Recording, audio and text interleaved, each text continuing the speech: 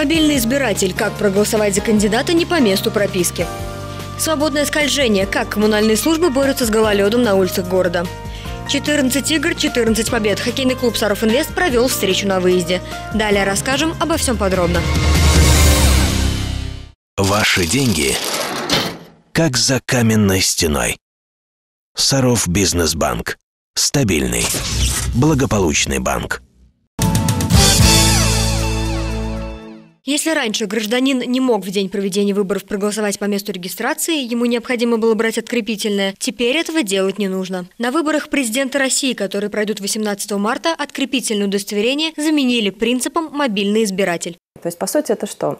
Например, если человек прописан в Сарове, а находится и живет в Москве, то есть он может прийти на любой избирательный участок, а, подать заявление о том, что он будет голосовать по месту своего пребывания, и, соответственно, в день голосования прийти на этот участок и отдать свой голос. Подать заявление можно не только на избирательном участке, но и в многофункциональном центре. А если у вас практически нет свободного времени, это можно сделать и через единый портал госуслуг. Посмотреть, где находится ближайший к вам избирательный участок, можно на сайте Центральной избирательной комиссии. Там есть интерактивная интерактивная карта, на которой представлены все избирательные участки страны. По Сарову избирательные участки можно посмотреть на сайте администрации в разделе территориальной избирательной комиссии, либо э, уже ближе к дню голосования вам будут разнесены пригласительные, в которых будет указан э, адрес участка избирательного. Проголосовать на выборах президента России можно будет и в случае, если вы уедете в отпуск или командировку за пределы Российской Федерации. В 145 странах мира будут открыты 360 избирательных участков. Процесс подачи заявления и голосования такой же. Если в день голосования вы знаете, что вы уезжаете за рубеж, в любую зарубежную страну, соответственно, вы можете также прийти на любой избирательный участок, а, обозначить э, ту страну, в которую вы собираетесь ехать, и подать заявление, и потом в день голосования 18 марта прийти в консульство и также отдать свой голос. Подать заявление о включении себя в список избирателей по месту нахождения можно до 12 марта. Ознакомиться со списком кандидатов можно на сайте ЦИК, а с их программами на официальных сайтах самих кандидатов. Мария Рунч, Владимир Сенников, Сергей Рябов. Служба новостей Саров 24. Сами горожане должны определить, что и каким образом будет преобразовываться в Сарове. Это отличительная особенность приоритетной программы формирования комфортной городской среды. Поэтому список объектов для рейтингового голосования составлен по результатам опросов, а каждый из дизайн-проектов тщательно обсуждается на общественных слушаниях. Из федерального бюджета на реализацию проекта победителя город получит порядка 17 миллионов рублей. Цифра хоть и ощутимая, но, по мнению специалистов, недостаточная для глобальных работ. На 17 миллионов э, достаточно вот комплексно одну территорию парка не благоустроишь. 17 миллионов это можно, ну, в лучшем случае, одну зону обустроить. Вообще вот проект парка, который мы хотели бы реализовать, например, имени Зернову, вот в первом приближении там сумма начинается от 100 миллионов. Одна из основных задач – привлечения инвесторов для реализации масштабных проектов. Впрочем, если эти поиски не увенчаются успехом, сделано будет ровно то, на что хватит федеральных денег. Освоены средства, полученные в рамках программы, должны быть обязательно в течение года. Сам федеральный проект рассчитан на 5 лет, и каждый год будет благоустраиваться одна из территорий. В каком порядке это будет происходить, как раз и определит рейтинг рейтинговое голосование. Голосовать могут и будут, мы надеемся, дети от 14 лет. От 14 лет и старше. Тот, тот, кто имеет паспорт, он может прийти на участок и проголосовать вот за выбор общественного пространства. Отдать свой голос можно за одну или сразу две территории. Сделать это можно будет 18 марта с 8 утра до 8 вечера по тем же адресам, где будет проходить голосование на выборах президента России. Лидия Шулаева, Константин Островский, Александр Мальков, служба новостей Саров 24. На сегодняшний день в нашем городе зарегистрировано 27 спортивных федераций и 4 клуба. В секциях различной направленности занимаются саровчане от мала до велика. Многие из них регулярно принимают участие в выездных соревнованиях и чемпионатах. Несомненно, успехи в спорте невозможны без развития инфраструктуры. Разговоры о строительстве ФОКа ходят в городе уже давно. Раньше мы исходили из того, что а, областной бюджет выделит нам софинансирование в соотношении там, 1 к 3 или 1 к 4, и мы, соответственно, заложим деньги в нашем бюджете, мы их заложили даже да, для того, чтобы это сделать. Но сегодня вот, в рамках смены руководства области немножко меняется у них парадигма. И мы попадаем а, в то, что наш ФОК из первоочередных а, объектов значит, уже уходит. то время как в соседнем Арзамасе уже есть два ФОКа, а также по одному в Семенове, Шатках, Дзержинске, Балахне и других городах области. По словам тренеров, строительство ФОКа в Сарове решит множество проблем. На существующих спортивных площадках время тренировок расписано по минутам. Залы уже просто не вмещают всех желающих заниматься спортом. Доходит даже до срыва тренировочных процессов. Параллельно мы работаем еще и по, по линии МЧП и пытаемся заинтересовать частного инвестора. Надежда есть в ближайшие обещанные три года получить ФОК? Ну, вы знаете, мы вообще в этом году должны все вопросы для себя решить. Три года ждать уже бесполезно, проект устареет, и нам придется опять заново все это делать. А это неэффективное использование бюджетных средств и пошло-поехало. У участников Совета возникли вопросы, на каких условиях будет использоваться спортивный объект, если его построят по линии муниципально-частного партнерства, и насколько в этом случае ФОК будет доступен для горожан. По МЧП там все очень просто. А, этот э, ФОК строится частным э, инвестором за свои деньги – он его отдает муниципалитету, и в данном случае это муниципальное... Бесплатно будут проводиться соревнования? Это муниципальное учреждение. Вот ровно так, как вы работаете, так это и будет происходить. Просто бюджет города должен будет возвращать частному инвестору средства с учетом его э, маржи. Там 2 года, 3 года, 4 года. Судьба ФОКа в Сарове до сих пор не ясна, но очевидным остается одно. Для популяризации спорта и достижения высоких результатов новый физкультурный комплекс нашему городу просто необходим. Дарья Цапарыгина, Константин Островский, Сергей Рябов, служба новостей Саров, 24.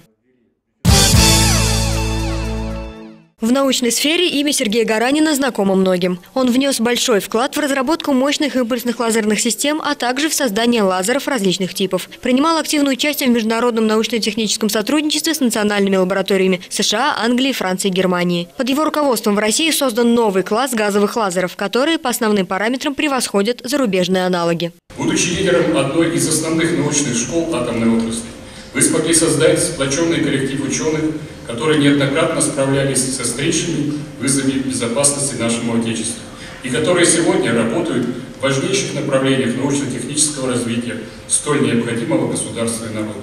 Весь вечер в адрес юбиляра звучали теплые слова. От имени руководства госкорпорации «Росатом» Сергей Гаранина поздравил директор дирекции по ядерному оружейному комплексу Иван Каменских. Он вручил юбиляру почетную грамоту правительства РФ, а также ведомственную награду – знак отличия за заслуги перед атомной отраслью первой степени. Но на этом подарки не закончились. Сегодня, пока мы летели с коллегами из Москвы сюда, президент подписал указ номер 70 о награждении Сергея Георгиевича орден Отечеством третьей степени. В этот день поздравили юбиляра также главный федеральный инспектор, руководители Федеральной службы экспертного контроля, представители Министерства обороны РФ, Российской академии наук, правительства Нижегородской области и руководители города Сарова. Участники первого в городе практикума инженерной школы получили индивидуальные пакеты с набором элементов и устройств, которые в результате превратятся в схему управления мотором с помощью фоторезистора. Эти термины из курса по физике хорошо знакомы школьникам, которые решили связать свою будущую профессию с точными науками. Проект направлен э, на популяризацию в молодежной среде профессии инженерно-технической направленности. Мы знаем, что с профессионалами этой этого направления есть э, существенный дефицит в области, э, и особенно в нашем городе, в Наукограде, это чувствуется особенно. Поэтому мы надеемся, что серия наших мероприятий привлекут ребят, интересующихся инженерным делом. Проект реализуется при поддержке Фонда президентских грантов. Его основная цель – наладить эффективное взаимодействие между преподавателями и школьниками и с помощью современных технологий изучения точных наук сделать традиционные уроки по физике и математике более интересными и полезными. Для этого им нужно разработать собственный набор практикоориентированных задач, добиться через это э, выявления наиболее современных и интересных для современного поколения обучающихся форм преподавания точных наук. Программа облачной школы инженерного образования не ограничивается физикой и математикой. В ней объединены метапредметные направления, изучая которые школьники смогут развиваться в области создания сложных технических проектов. Дарья Цапарыгина, Константин Островский, Сергей Рябов, служба новостей Саров, 24. Десятая школа пустует. Учебный процесс был прерван еще в конце прошлого года. Из аварийного здания ребят оперативно переселили в соседнюю седьмую школу. И с этого момента педагоги и ученики начали ждать возвращения в родные стены. А произойдет оно только после капитального ремонта здания, подготовка документации к которому идет полным ходом. На сегодняшний день мы ждем, когда будут переданы, проверены все документы в Минэконом развития Нижегородской области. И будем надеяться, что решением губернатора и э, Министерства образования начнется все-таки капитальный ремонт и будут выделены средства на капитальный, на капитальный ремонт 10 школы в этом году.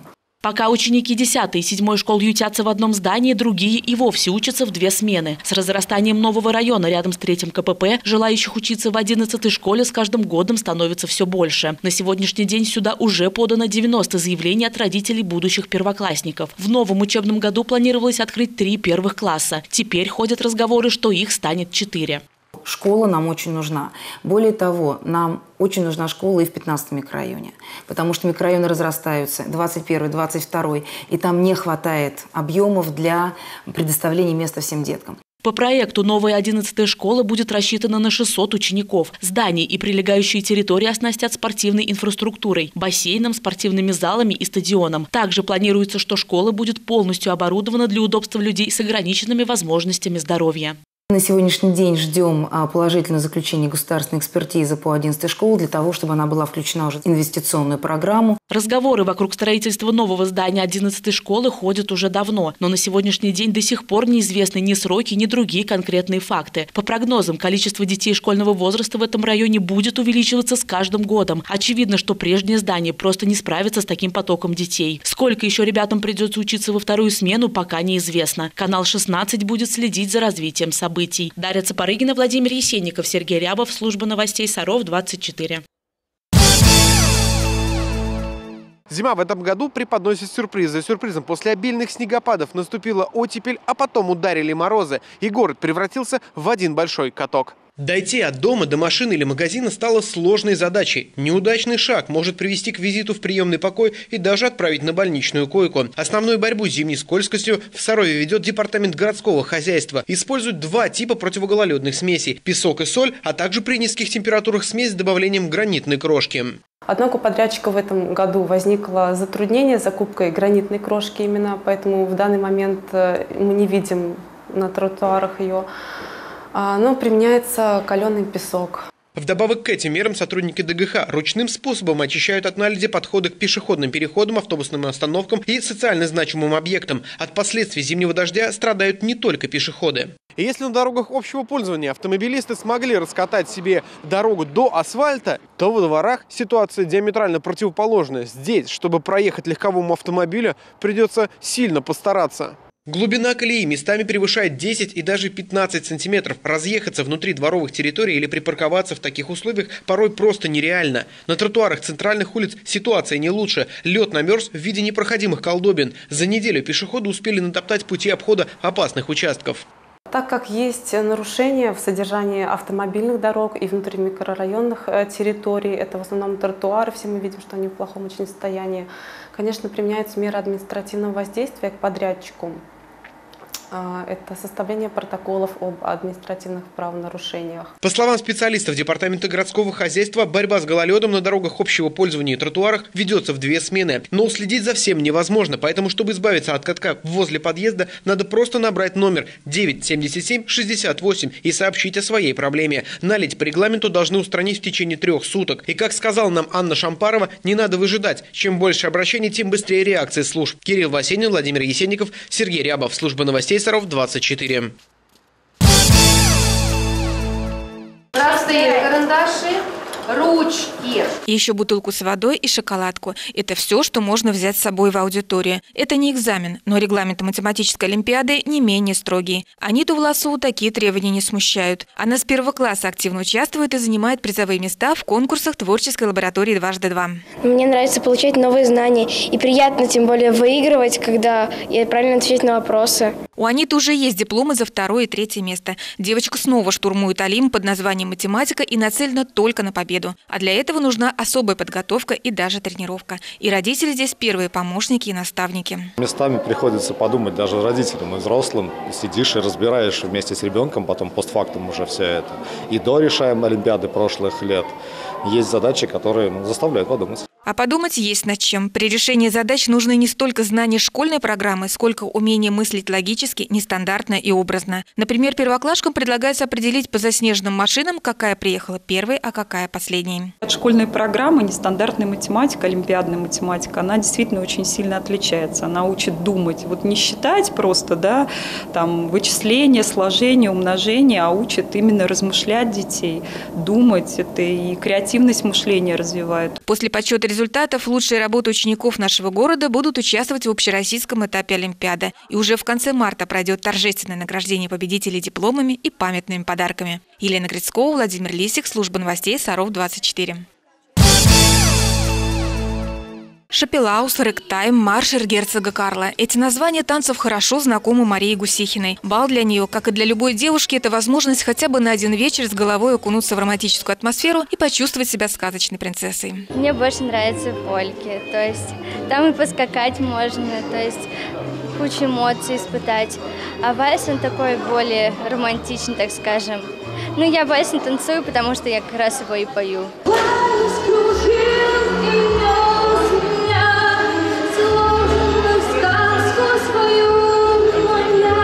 Программа бала была разнообразной. Тот, кто не хотел или не умел танцевать, принимал участие в конкурсах. Также для гостей работала фотозона, где любой желающий мог сделать фотографию с семьей или друзьями. Организаторы отметили, что у этого бала есть несколько особенностей. Во-первых, нет никакого намека на элитарность, нет дресс-кода, не обязательно умение танцевать. Нет неловкости, что тебя не пригласят, потому что для танцевальной программы отбирались танцы с прогрессией, то есть танцы, где происходит смена партнера и танцуют абсолютно все. Романтики праздничному вечеру добавила бальная почта, где любой желающий мог оставить послание своему другу или подруге. И традиционно выбирали короля и королеву бала. Елена Грицкова, Владимир Лисик, служба новостей Саров 24.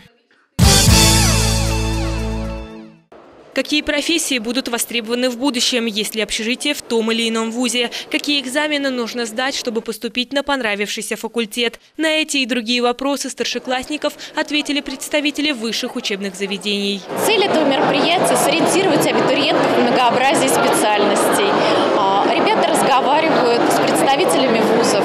Это помогает им определиться и понять, на какую кафедру они хотели бы поступить. В этом году на встречу со старшеклассниками приехали представители сразу пяти вузов – из Москвы, Ешкаралы и Нижнего Новгорода. В процессе живой беседы старшеклассники могли из первых уст узнать о правилах приема в вуз, специальностях и факультетах. Каждый абитуриент старался тщательно усвоить материал, а некоторые успели определиться, в какой вуз будут поступать. Я определилась в Алексеевский, так вышло то, что он сегодня приезжает. Думаю над электроэнергетикой, либо над ядерной физикой, а, потому что хотела пойти по стопам папы, как, так как он у меня работает в МНИЭФ и заканчивал этот именно институт. Ученикам 10 классов до выпуска из школы еще полтора года. Но перед ними уже стоит серьезная задача – решить, какую профессию выбрать и в какой институт поступить. У вас есть возможность присмотреться и к преподавателям, и к тем вузам, которые э, уделяют большое внимание э, в рамках партнерских соглашений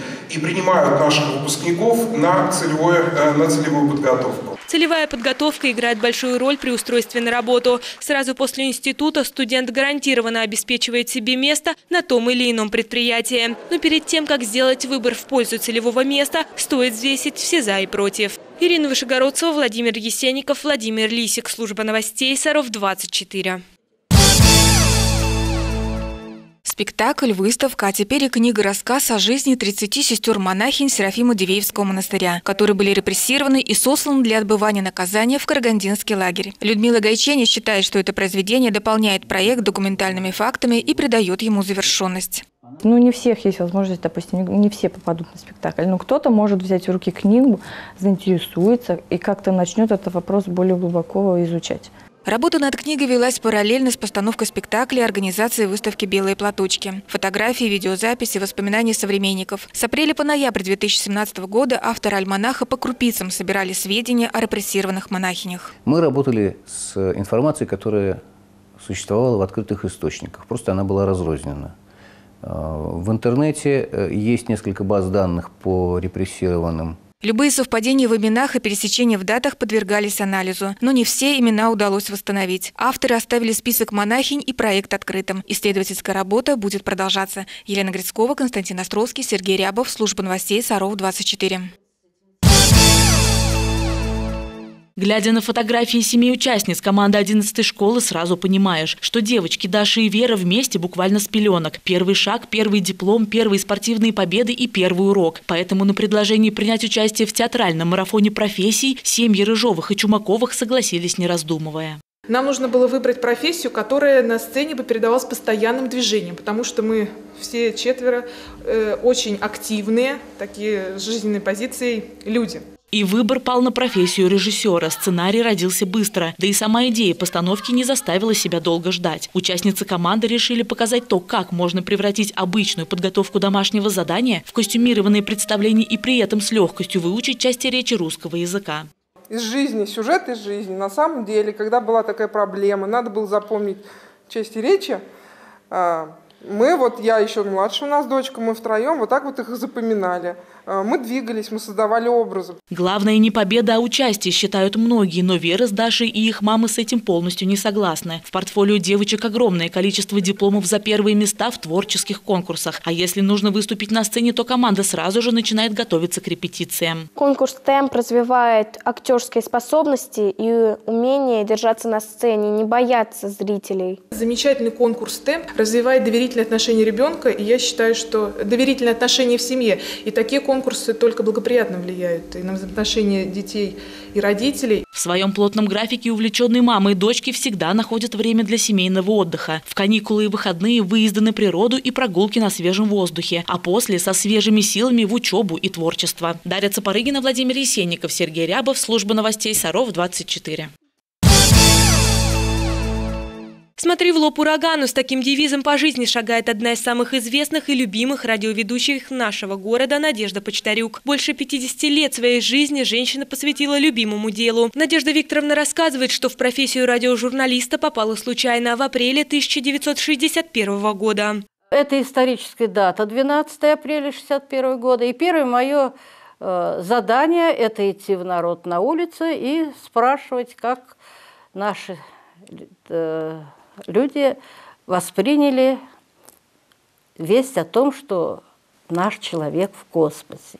Уже сегодня за ее плечами огромное количество репортажей, статей и передач. Женщина признается, что именно эта профессия позволила ей полностью раскрепоститься и в корне изменила ее жизнь. Воспоминания об этой работе у меня, конечно, замечательные, потому что мне пришлось общаться с учеными, с министрами, с руководителями, ну и естественно, со всеми работниками. Молодость Надежды Викторовны была насыщена интересными событиями, воспоминаниями о которых она с удовольствием делится с нынешним поколением. Но современным радиожурналистам тоже есть чем поделиться. Здравствуйте, в студии радио «Говорит Саров» Екатерина Опенова. Вот уже семь лет Екатерина Опенова работает корреспондентом на радио. Девушка признается, что изначально она пришла устраиваться секретарем. Но через некоторое время ей предложили более интересную должность радиожурналиста. Сначала я делала новости, только новостями занималась. Потом ушла в декрет, а после декрета уже, собственно, вообще всем. И новостями, и эфирами, передачами, хожу на все мероприятия. Перед каждым выходом в эфир Екатерина тщательно готовится к выпускам, подбирает интересный формат беседы, старается все сделать на высшем уровне. Все потому, что результаты ее трудов по радиоволнам дойдут почти до каждого саровчанина. Радио можно слушать в машине. Это, в первую очередь, это огромный плюс радио. Куда ты едешь, нет э, возможности отвлекаться на какие-то визуальные источники информации. К тому же очень многие люди, в принципе, аудиалы. Лучше воспринимают информацию на слух. Ну, я вот в том числе аудиал. Редакция нашего канала поздравляет всех причастных со Всемирным днем радио. Желаем вам всегда быть в курсе событий. Ирина Вышегородцева, Владимир Лисик, Сергей Рябов. Служба новостей Саров 24. Хорошая погода, свежий воздух и отличное настроение – вот залог действительно доброго утра. В этом году к акции «Лыжня России» присоединились еще больше горожан всех возрастов. По традиции первыми на старт вышли воспитанники детских садов и младшие школьники, чтобы преодолеть дистанцию в 500 метров.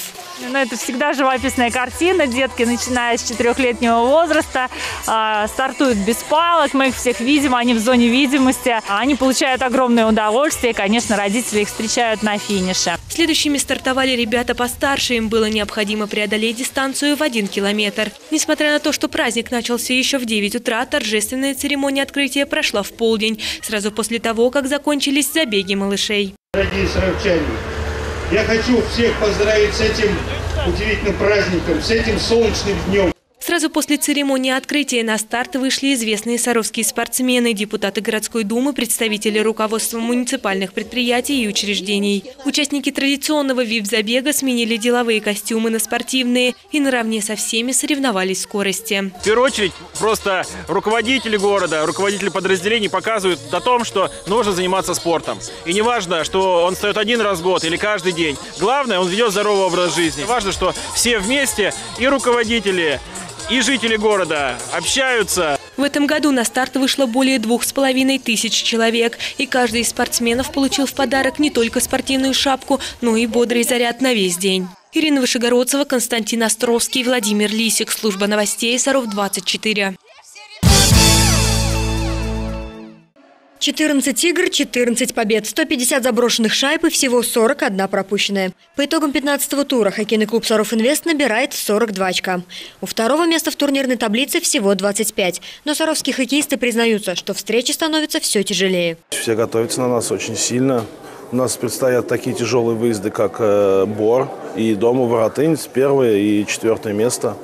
Очень тяжело будет. Но мы работаем в процессе, готовимся к плей-оффу. Встреча в Арзамасе прошла на достаточно высоких скоростях. Распаковать ворота соперников саровчанам удалось через пять минут после стартового свистка арбитра. Вторая шайба прилетела меньше, чем через минуту.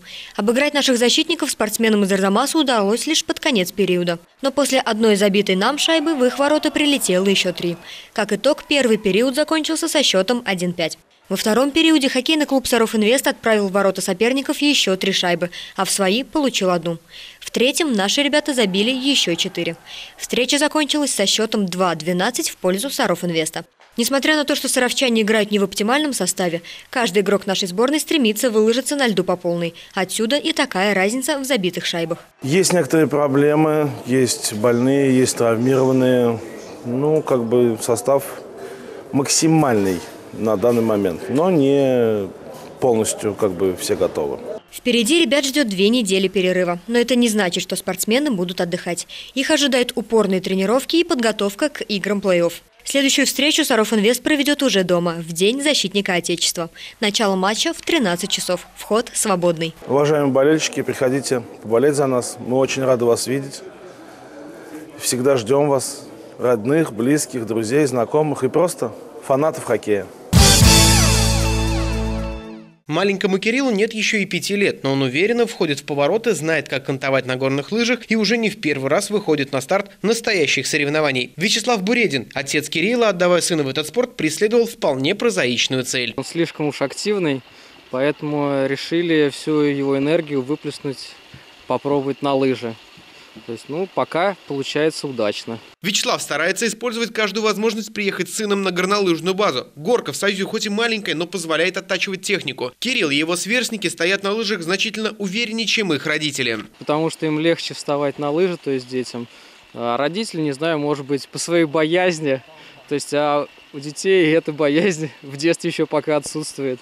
Соревнования на горе Глубокой давно уже стали традиционными. Ежегодно почти три десятка мальчишек и девчонок показывают, чему они научились, улучшают свое время прохождения трассы и готовятся к выездным соревнованиям. Стабильный результат – это не только заслуга детей, это еще и совместный труд родителей и тренера. Ларисе Караваевой повезло и с воспитанниками, и с их родителями. И они, конечно, всегда помогают. И они уже и детей тоже настраивают. И уже все знают, всю эту технику. Там, если я где-то не сказала, они там его додолбят в конце.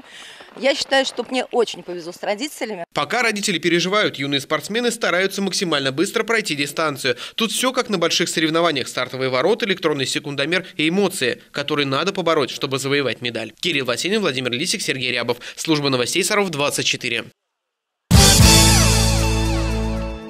Ваши деньги как за каменной стеной. Саров Бизнесбанк. Стабильный, благополучный банк.